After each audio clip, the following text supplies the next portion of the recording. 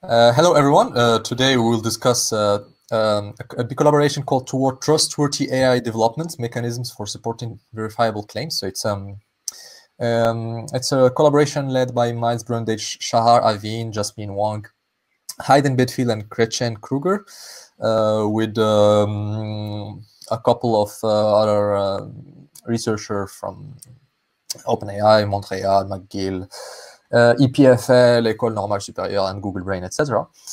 And um, so um, uh, we will follow the structure of the paper more or less in this discussion, where we first will discuss the institutional mechanisms uh, for trustworthy um, for trustworthy AI uh, development. Then we'll move to software mechanisms, and finally hardware mechanisms and specifications. Um, who wants to start? Maybe Le or Louis on uh, yeah. institutional mechanism? Yes, the the well, the one of the, the important problems is of course uh, how to uh, verify and uh, audit people who are designing uh, uh, AIs, and how to make sure that these AIs are are constructed with the right um, interpretability, privacy, no bias conditions, and so on. Uh, and uh, in order to do this, uh, the first section of the paper focuses on institutional mechanisms and what kinds of structures should be put in place. And the, the, the, the first bullet point, and which is um, is the, the third party auditing problem. Uh, so this is what happens in the banking industry. Uh, you have this uh, auditing made by outside companies that can be governmental. And maybe for for AI, uh, even probably surely, we need some uh, external auditing of uh, of some sort uh, to to understand uh, to better track what if, if the algorithms are well designed and uh, yeah if they, they verify the the specific conditions we want them to, to verify. Um, yeah, if you have more comments on this. Uh, well, the problem is that, uh, of course, uh, as we already discussed, this raises a lot of different different problems um, in practice. Uh, like, uh, well, I guess there's uh, some legal problem. Like, this probably need to be legalized for this to be done consistently it's hard to think of other mechanisms through which this can be uh, implemented uh, uh, yeah, for, for, for, actual companies uh, these days. Uh, another problem is um, like there's going to be a, need of a collaboration of the, company uh, to to produce yeah to to to uh, make available what it is that needs to be audited. Uh, actually there's even the question of what it is that we're auditing. Do we audit uh, the data? Do we audit the the learning algorithms? Do we edit uh, do, do we audit uh, the the uh, the algorithms that ha ha have learned?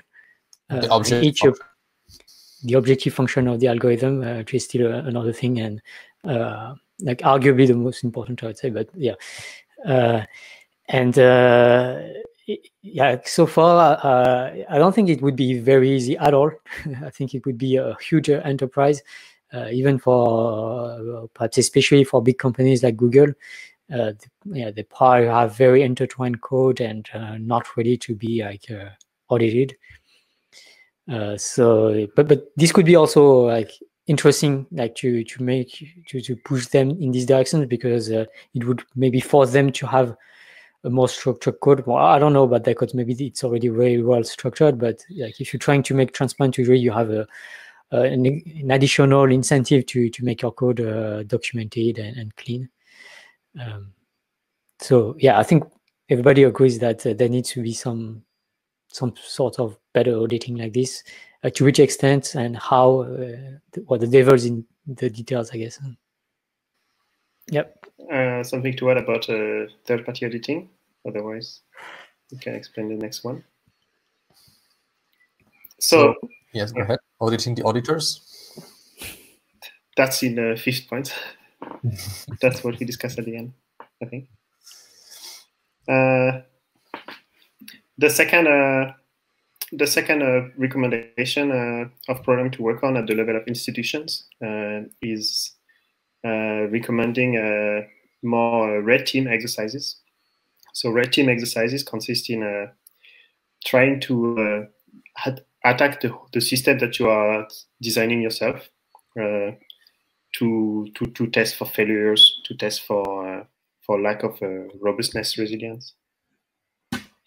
And uh, so the the author recommend that uh, developers of AI would uh, learn better skills to uh, to perform these kind of exercises.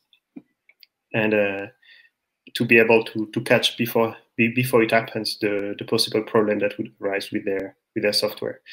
Um, one thing we can think of is, for example, last time we discussed about uh, DP3T, and the the authors writing uh, the the fr the framework of DP3T, they they really made uh, the extra effort to think of how uh, different agents could uh, different stakeholders uh, could uh, try to attack and and break the the system. And this is extremely important to to ask this kind of questions because otherwise the you could end up in a in a case where your system doesn't work and you did not anticipate how, how it would go. So, and uh, the author find that this uh, sort of skill, like uh, threat uh, threat modeling, is uh, is lacking within AI developers, and and should be should be more motivated. And this is also something we can recommend to to AI developers not doing only research but working in large companies. And uh, one thing we, a second example that we often talk about is uh, simply the effect of uh, maximizing engagement, which uh, led to uh, a lot of biases and polarization on uh, on social medias. Mm-hmm. This is also a kind of flow that AI developers should try to see how people will react to their system and and and and anticipate the, the worst cases that could, could happen. So yeah, I, I don't know how, how, much we can stay on this point, but um, wanted to comment a bit on the interpretability part of the. so so the, the, the report has the usual calls for interpretable, transparent um, uh, algorithms. Uh, I know that Lê has a lot of caveats to add to interpretability.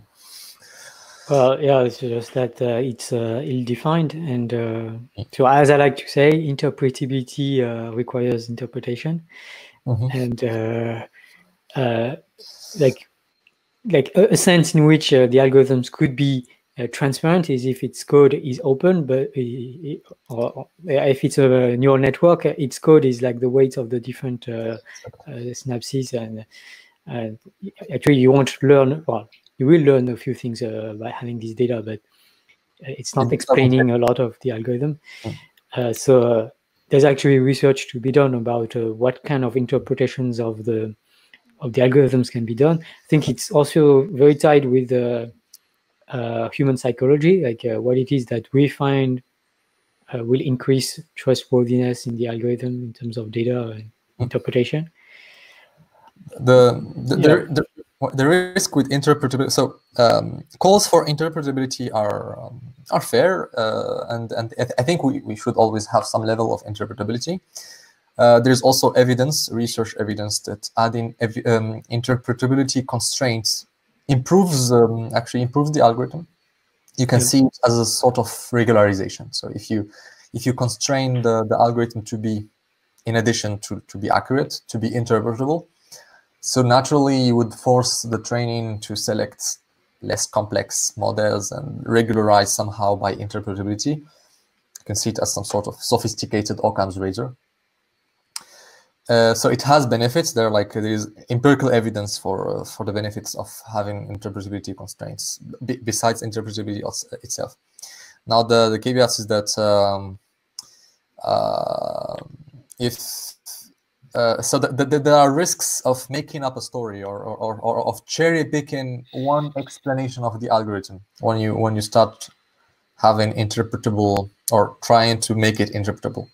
So if you take, say, the, like if you take a neural network, as, as an algorithm. So so obviously th this is the algorithm you deploy. You deploy so so people most like many times people reviewers especially they, they they don't think of neural networks as algorithms. Like they talk about the model the model the weights uh, the parameter vector but they they forget and or sometimes it it it happens to us that we tend to forget that at the end of the day this parameter vector will be deployed itself as an algorithm. So we think of let's say the training algorithm as the algorithm. So sgd gradient descent as the algorithm.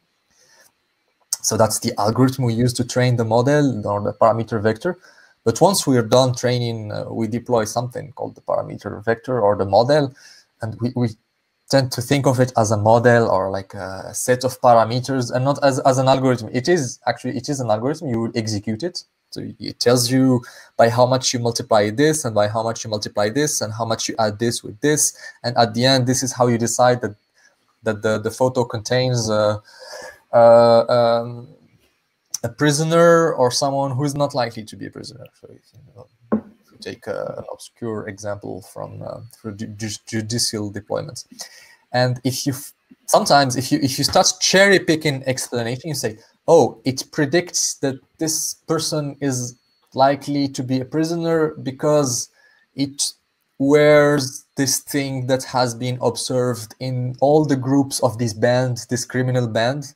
Or it has this tattoo the person has she or he has this tattoo and we know that the tattoo is present in all the members of this criminal group. Fine. But you might start cherry picking like imagine a, lo a lot of pathways in a neural network. You might start cherry picking pathways to make up yeah. an explanation.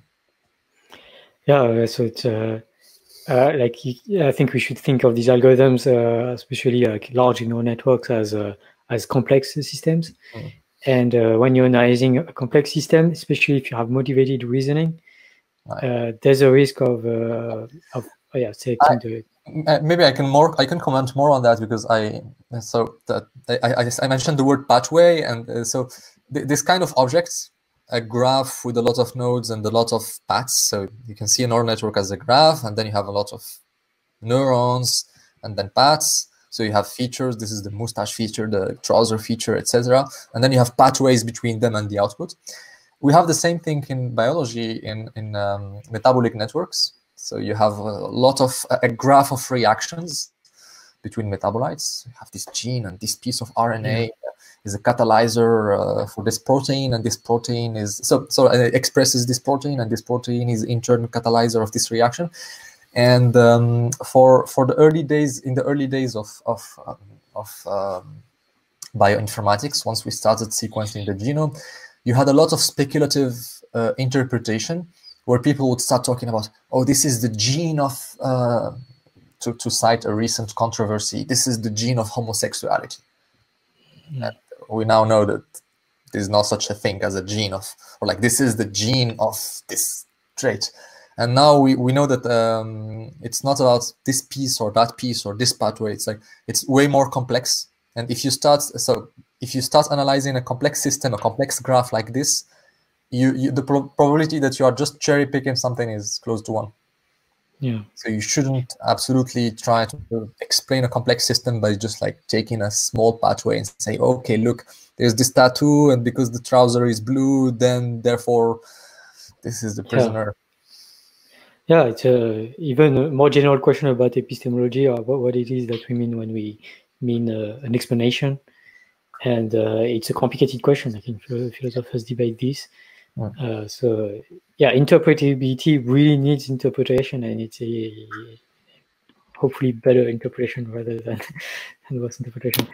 Another point I want to, to mention about interpretability is that uh, uh, there's the question of interpretable uh, to whom, uh-huh. because some explanations are perfectly valid for computer scientists. So if you tell me that university assignment system where uh, students are assigned to, to different universities. If it uh, follows the Gale-Shapley algorithm, that, that's fine for me. I can understand. Mm. But if you tell that to uh, the general public or just non-computer scientists in general, yeah, it's no longer clear that it's that interpretable, even though it's not a very complicated algorithm. And when you're talking about DP3T or like uh, these algorithms that are slightly more complicated than than uh, than um, uh, the Gale-Shapley algorithm. Yeah, the, the question of interpretable to whom is really becomes a big problem. Like you can spend hours and hours explaining uh, uh, the algorithm. Maybe you actually need hours and hours to explain the algorithm to the layman, you also have to have his attention for hours and hours, and uh, usually you don't. So in the end, these algorithms are somewhat opaque to, to, to people who don't spend enough time thinking about them. Yeah, the, the author of, the paper mentioned uh, some research done with data scientists or computer scientists where uh, explanation were generated and they were asked to uh, to actually interpret the, the explanation to somehow uh, these uh, social studies to to explain uh, to to, to, to better understand what are good uh, interpretability methods. But uh, overall, they they recommend more work on more research work on interpretability to because as of today there is no frame or clear clear definition of what interpretability means. Uh, yeah. Do you you too do you think it's uh, it's uh, important work for AI safety landscape? So, in a sense, this is uh, kind of the job of science communication, like just explaining. Explanation is also the job of uh, of science communicators, and uh, well, I, I I spend a lot of time trying to do this, and it's just very very hard. And the more complex things are, uh, if you have to very complex algorithms, well, if I struggle to understand it, I will have uh, an even harder time to to explain it, and uh, yeah, it's just very, very, very hard. and there's no simple path. Like there's not a clear guideline about like this is how you should uh, explain this concept in science. No, it's it's uh, there are you often when concepts are complicated, there are multiple ways to go. You actually need multiple ways to go. And in the end, uh, even if you take the best uh, science proposal out there, uh, it's still possible that they will convey more misinformation than actual information, even though everything they're saying is right, because uh, well, it's very hard. Like people mis misinterpret things, and uh, it's hard. Like just like very, very mm-hmm. simple stuff, like uh, uh the uh, Newton's uh, law F equals ma. Even this is very hard to get through. To really have this inner feeling that yeah, it's acceleration that's affected by forces, not speed or velocity even this is very hard to communicate. So mm-hmm. yeah, try to explain uh, uh, neural networks and how it can go wrong, and uh, it, it, gets very complicated. All right. Uh, this was actually one of the points uh, they make in the in the second section, which is uh, discussing software mechanisms to to improve trustworthiness in in algorithms in general. So. Yeah to go back on the on the first uh, point, which were uh, institutional mechanisms, two other ideas that we uh, that we did not mention yet is uh, uh, the first one giving bounties for finding bias and safety issues in in algorithms. -huh. This is something that is already down done a lot for for usual programming bugs in in software and uh, but it's it, it's not done for an algorithm that start to recommend a very uh, problematic content or or other machine learning algorithms. The, this thing does not is not well spread yet, and we hope that the, the authors hope that uh, by putting in place some some sort of bounties, it will motivate uh, uh, the general public that is uh, knowledgeable on machine learning to to look for these bugs and report them. So one thing we can think of today is that if you if someone find a bug on the on the YouTube recommender system, there is there is no uh, no reward into simply uh, revealing this bug, but uh, what someone of today could do is uh, simply use this to to generate ad revenue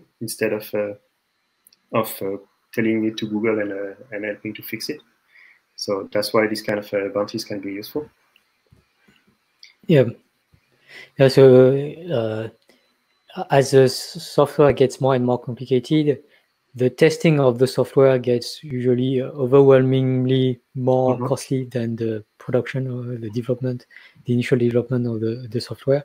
Uh-huh. And uh, yeah, there, there, needs to be uh, a lot of testing, like huge uh, incentives, financial incentives, uh, social incentives as well. This works a lot uh, in the open source community to to find bugs and correct bugs and yeah, this is an important task, uh, and this is all the more important for for machine learning algorithms uh, that can have uh, that have been shown to have a, lot of uh, hidden uh, vulnerabilities. Well, Mehdi knows a lot about this. it's his PhD. Yeah, I was, I was, saying in the discussion that um, I find more reasons to have bug bounty programs in machine learning than in traditional software, because um, so. Um, traditional for, for traditional software, uh, there is basically a piece of code that is way more interpretable because it was written by hand or by many hands. So you could imagine a setting where many hands will review that code and audit it. And sometimes for the client, it's uh, safer to do this auditing internally and not leave it in the public domain for bug bounty. of course, in bug bounty programs, you don't share the code necessarily, but uh, for example, you can do something like penetration testing. So I don't share the code, but I can invite you to try penetrate my website. And then if you find a uh, vulnerability that allows you to penetrate the website, then you can win that bounty, and especially if you can explain why and help me fix the, the vulnerability. So there are reasons. Um, so in, in case of websites, obviously the website is already there. So there is incentives to have bug bounty programs on, for example, penetration testing. Main, main part. So uh, according to a friend who is a penetration tester uh, for, for a company that deals with banks, like this is one of the largest markets they, they have is, is just penetration testing of, of online banking websites.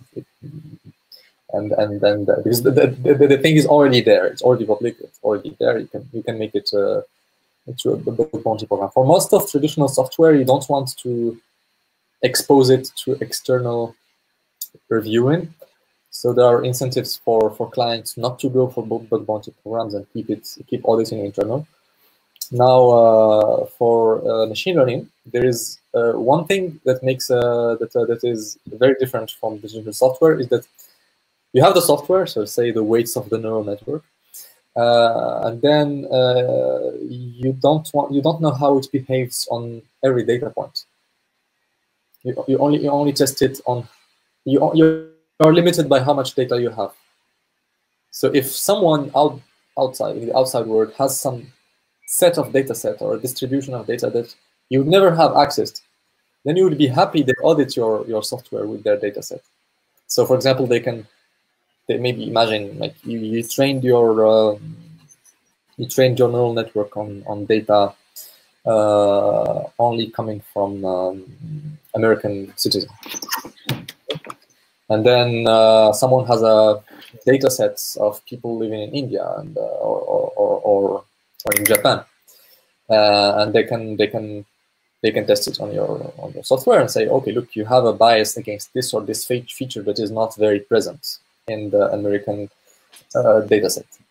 Uh, so th this is this is this is something where where where you can see beneficial beneficial outsourcing of auditing and uh, especially like, for example, auditing for bias, uh, auditing for bias, or even for inaccuracies um, uh, that that people do not necessarily call bias. Uh, so just for like for, for, even for like robustness and, and, and accuracy of the algorithm, you can you can see a lot of reasons to to adopt bug bounty programs for, for machine learning but yeah, in, and in terms of vulnerability, as you said, uh, in, in general, like there are like several other reasons why, why machine learning should probably embrace bug bounty spirit is that the space of vulnerability is extremely high. we deal with yeah. very high dimensional uh, spaces of data and of models, and you can just you can just do it the, the, the the way of like just audit things and start reviewing them, etc. So maybe like crowdsourcing audits with bug bounty programs could be could be uh, could be could be efficient. Uh, a thing related to this is uh, uh, the fact that um, uh, machine learning, especially neural networks, or anything that's uh, gradient based, so it's not very uh, necessarily neural networks, but anything anything that's gradient based is more vulnerable if the attacker knows the code, uh, the weights in particular, because then he can compute the gradient and and uh, he can have these uh, so-called uh, evasion attacks. So transparency opens uh, vulnerabilities. Uh, and so there's yeah there's a it's not clear like what should be really transparent and what should not be transparent for safety reasons. I'm just thinking about in terms of safety here. So yeah, this should be also I guess something to be yeah, but better understood and see what is the optimal uh, trade-off here between transparency, like security. Like I think the, the overall goal here, at least if it's uh, security, security and, uh, and trustworthiness, uh, like it, it's not clear that a transparent uh, uh, differentiable model should be made transparent. Yeah, we discussed this topic in the first episode of the podcast. yeah discussing uh, accountability of uh, black boxes. Yeah, another thing we did not discuss earlier is the the uh, having the like the data uh, or the logs of what has been done by the algorithm can, can still be extremely worthwhile, uh, especially if you think in terms of the the YouTube recommender system. Uh, and understanding what is recommended, for instance, by the platform right now is impossible for outsiders. It's very hard for outsiders. Like you need to do some a lot of tricks, like Guillaume Chaslot or or Joachim Geyer, uh, yeah, it's not easy. And so uh, if there were more like collaboration between YouTube and uh, and research entities, and uh, because there's also this GDPR problem because the data are, are, it's very hard to make them both useful and uh, and uh, differentially like really private. like the yeah, we talked about the example of Netflix, um, of the Netflix prize, uh, where uh, Netflix gave data, uh, made public some some data, and they anonymized it, but like it was uh, de-anonymized afterwards because you could relate this to. Uh, uh, you could you could connect this with what people commented on some other website like IMDb, and so just this thought about how to better understand what is done by the YouTube recommender and how to allow only researchers, for instance, uh, and not the general public, uh, to exploit this data to better understand and better audit and better and improve the, the algorithm if something is really bad. Uh, yeah, this should be thought carefully. It's not easy, but this is, sounds like something quite desirable.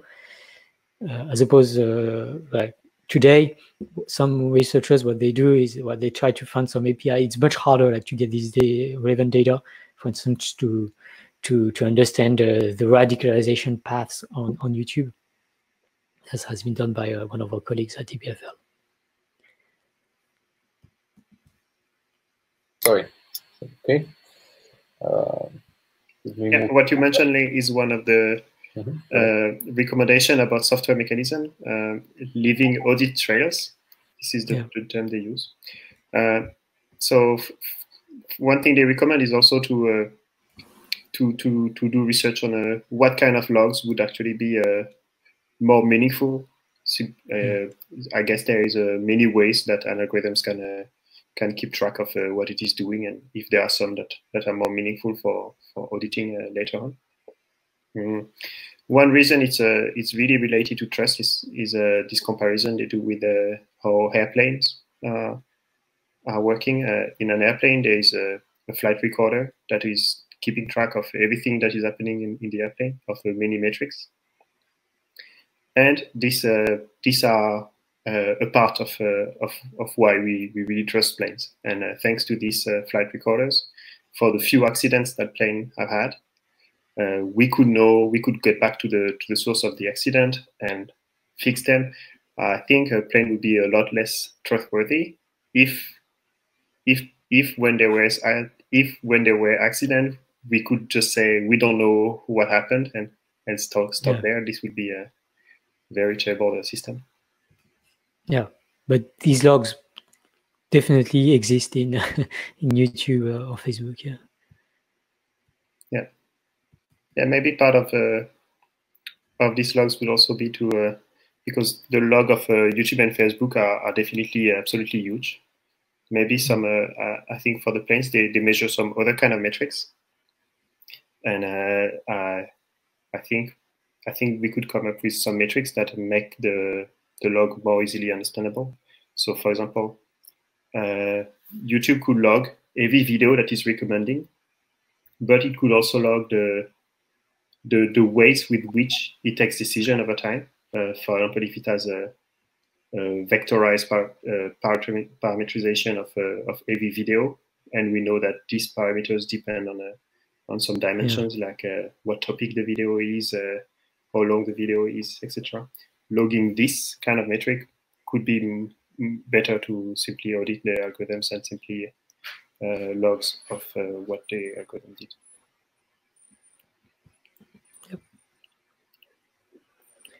Okay, okay. Should we move to hardware?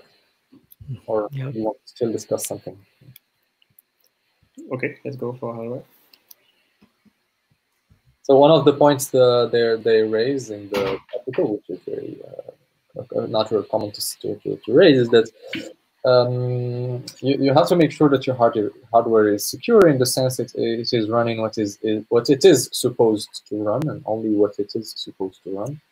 We, we briefly mentioned that in a previous episode where we mentioned maybe something they, they, they, that is not present in this report, which is the, the very low level of vulnerabilities you can have in the CPU and uh, and uh, uh, but, but, but again like when discussing the, the paper of trustworthy AI, we more or less all agreed that the threat model for for machine most machine learning like there's so much threat on the on the high level uh, software part, that's that this is probably not one of the top priority in terms of risk.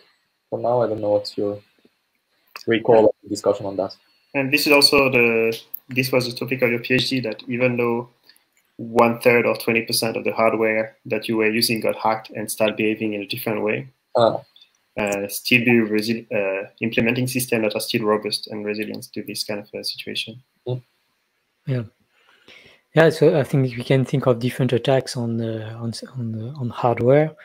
Uh, like the worst kind of attack would be a backdoor uh, installed by the designer, uh, as we discussed. But yeah, this is a yeah, this is very hard to defend against, and uh, yeah. as I said, maybe there are other priorities. For for uh, a field for a field that is still struggling with the average and the median, I think yeah. this is not yet yeah. is not yet the most uh, the most likely cause for vulnerability. We, we still have way more obvious vulnerabilities in machine learning. Yeah. Yeah, and then there are other attacks. Maybe somehow some some part of the hardware can be hacked, and well, this, even this uh, is not the most uh, likely threat model, let's say. But uh, one that's much more reasonable is that part of it crash and this happens probably all the time, and especially if you have bigger and bigger systems. But yeah, you can also mitigate this with uh, research as done by Mahdi. so, so nevertheless, one uh, one of the topic they mentioned is the something we can do to, to make hardware more secure is uh, they call it uh, uh, trusted execution environment. Yeah, exactly. So and uh, and this trusted execution environment, they are they are well known how to it's well known how to make them and use them for for for usual hardware like uh, CPUs that uh, we use uh, all the time. But uh, machine learning uses more and more specialized hardware, and we can expect that in the future uh, there will be new specialized hardware designed for specifically for machine learning and artificial intelligence systems. And the problem is that creating this secure environment uh, incur a cost, and uh, and what they think will happen is that this cost is uh, as we update the software we use, this cost will be, need to be paid every time to to create secure environment on this new type of software. So yeah, the, the, the authors recommend that uh, we should work towards uh, building this kind of secure environment on the hardware. But uh, but but they realize that it's also a, a costly uh, costly thing to do specifically for AI, which uh, updates its hardware often. Yeah. Yeah. So uh, they they well, like one of the people who at our discussion uh, shared uh, a couple of papers that show that uh, that there is ongoing research in uh, designing, uh, in particular, GPU, uh, so graphical process processing units that are used to parallelize the computation in in neural networks learning. this is being well, this is research into making this more Uh, into a trusted execution environment. Yeah, uh, another thing that was discussed in, in this section was uh, uh providing academics with more hardware. Uh, so typically, to test, but the idea is like to test the YouTube algorithm, for instance, or other big things like this, uh, you, you're going to need to test through a lot of angles, and this requires a lot of computational power. Mm-hmm. Um, uh, also, like if you want to just keep up with the, the latest developments in AI, like uh, these days, uh, the, the big papers, uh, things by OpenAI, for instance, represent, I don't know, was it thousands, hundreds of thousands, maybe millions of dollars.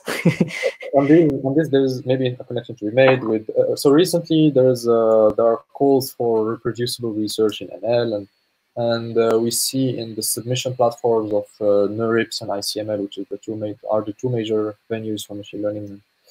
Uh, that um, you have now incentives to to explain how how reproducible is is, is your results and your code, etc. And you have to provide uh, some helpful um, uh, some helpful information for for people who would like to reproduce your work. Uh, two years ago, one year ago, uh, an effort led by Joëlle Pineau on reproducibility was to take to take codes or papers, code and etc. from these papers and and use it as students as students projects where they would verify the reproducibility of, of the work.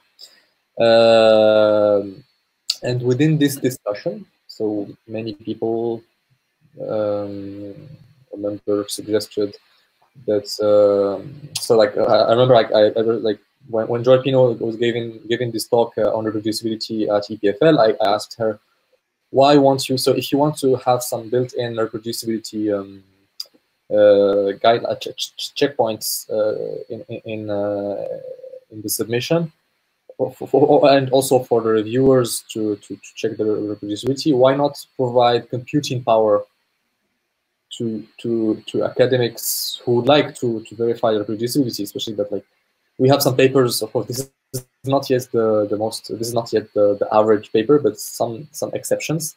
Uh, recently, there was a paper from I think DeepMind and uh, Ben Recht was uh, ranting and explaining that to to verify these experiments, you need one million power of uh, one million dollars of, uh, of GPU time, and uh, so, so, you can't expect academics to verify claims or or, or, or results. Uh, so one thing you can imagine is that uh, you could impose or incentivize companies to provide computing power for academics when reviewing their code yeah. or when reviewing their work. But again, I, I don't know what's the cost benefit for this. This could be an idea. Yeah, no, yeah, but it, it's yeah, it, it is like it's not clear. Probably you're going to need some legal thing. Like uh, I think beyond the legal and the financial parts, there is also the career incentive part. Yeah, I don't see any academic incentivized by their employer to spend their time verifying the reproducibility. Oh yeah, of, this is like. Uh... we are not even incentivized to verify the reproducibility of other academics' work. so, uh, so I don't see a world where we would be incentivized to to, to verify the reproducibility of companies' work. Sometimes not even of our own work. so yeah, I think yeah, there is a. I think beyond the financial and legal part, I think the, the real bottleneck is academic incentives and career incentives. That that, that would block any hope for this uh, this path. Yeah, yeah. There's like this reproducibility concern, but I guess there's also a competitiveness uh, concern and also a, a, concern for the ability to uh, to to to audit large scale systems. Um, yeah, and, and, just to get this computing power, like well, it's going to be costly at some point, and uh, yeah, but yeah, it will be like a lot more costly than uh, because like uh, like in computer science, like uh, most of the the cost of an academic is, uh, I'm guessing, still like uh, wages, and as opposed to some other fields where, like in biology, they have these very expensive e equipments. Like compared to this, I don't know how computing power would compare to to a new MRI machine or or stuff like this. Oh, I don't know. I think it's it's about equal. Uh, I know some uh, some colleagues at uh, EPFL who spend about the same number of uh, of uh, CHF uh, in computing power as their own salary. Okay. And for I, I expect that for people working with an even bigger system, then the the price of the salary doesn't matter compared to the price of the hardware they use. Yeah. Okay. Do you want to talk about uh, specifications? Yeah. Uh, auditing auditors also.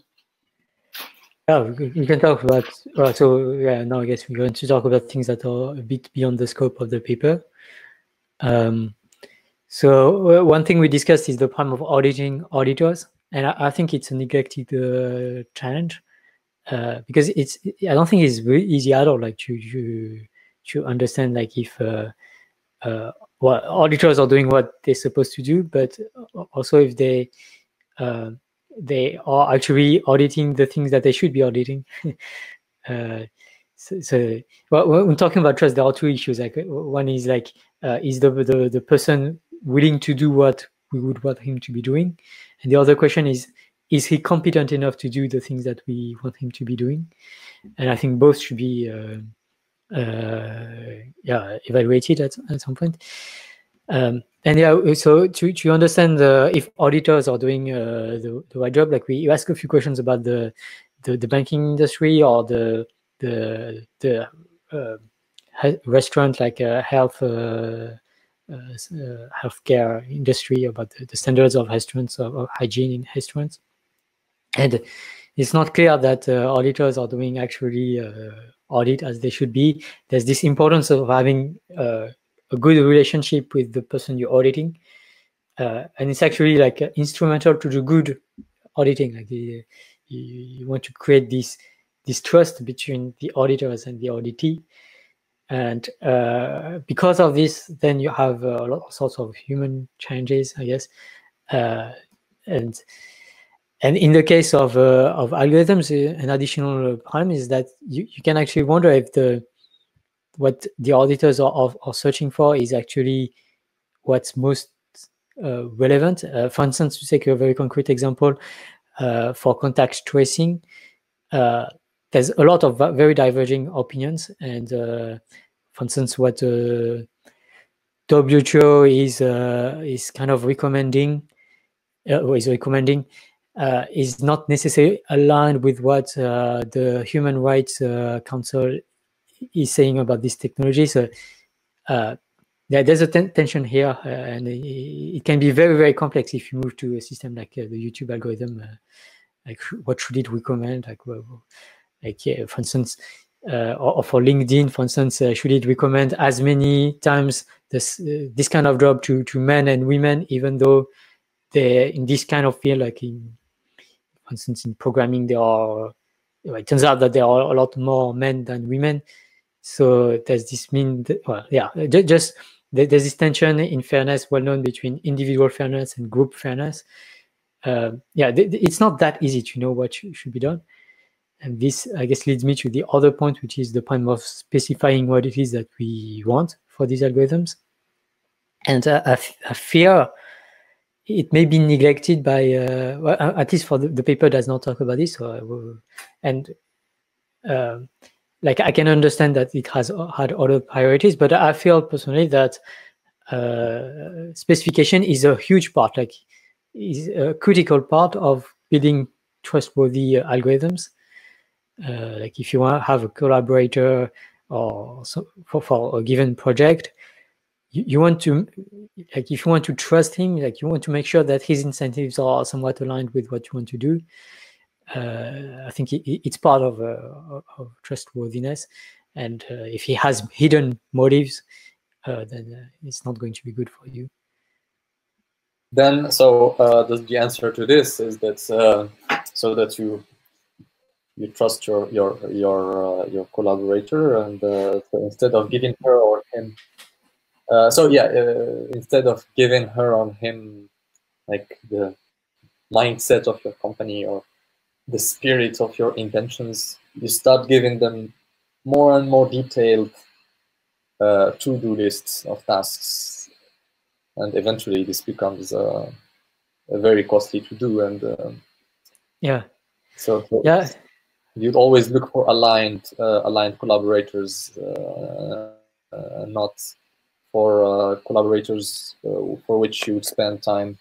For each of you, actually, you you and him or her, spending a lot of time just specifying tasks and exact intentions.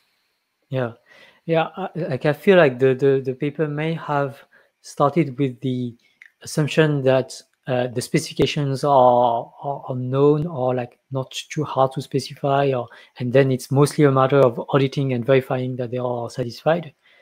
But uh, like specifications are ex- are huge mess. Like if you think about uh, concrete problems like uh, even like contact tracing but uh, especially if you move to to recommender systems just specifying what it is that we want these things to be doing is huge and any specification is going to be extremely complex. Uh, just writing down the specification is probably going to be impossible. Like the, uh, and even if you write it down, if you write an algorithm, probably there's going to be a specification gaming. Uh, there's a recent uh, DeepMind uh, uh, paper about this. so it's also called a reward hacking. So if your your your specifications or somewhat what you want, but not exactly what you want, uh, then uh, the auditee can fully satisfy all of them, uh, all of your specifications, and turn out to do something that it is not what you want it to be doing.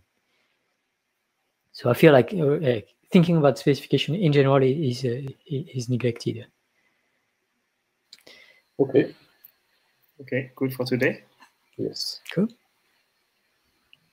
Thank you, and uh, so next week, what we discuss? We. So uh, thanks for listening to the podcast. Next week, uh, we will discuss the paper titled "Closing the AI Accountability Gap: Defining an End-to-End Framework for Internal Algorithmic Auditing." Because today we talked a lot about auditing, but uh, it's still un unclear what uh, what auditing actually means, and mm -hmm. and uh, so that's why we are. I'm looking forward to this interesting discussion on uh, how to better audit algorithms and maybe do it with the right specifications. okay. Bye. Bye.